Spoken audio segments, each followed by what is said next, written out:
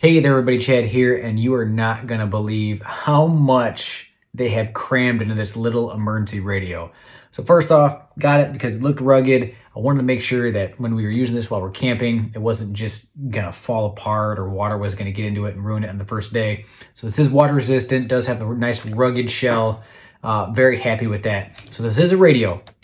This is an emergency radio, so obviously it has the crank on the back here Obviously has a little bit of tension on it because you're, you're charging the battery. But this has so many other features you're not going to believe. So it has a solar up top. That's also going to be charging the battery. It has the option back here that you can add in the AAA battery, so another power source. And of course, it has the lithium ion battery on, on board that you can charge it with. So unbelievable. Uh, just moving my way around, of course, you have the antenna for the emergency radio. You have this crank on the back. You have the little rubber seal on that USB. You have this light up front. Nice little powerful LED. Of course, the solar panel actually doubles.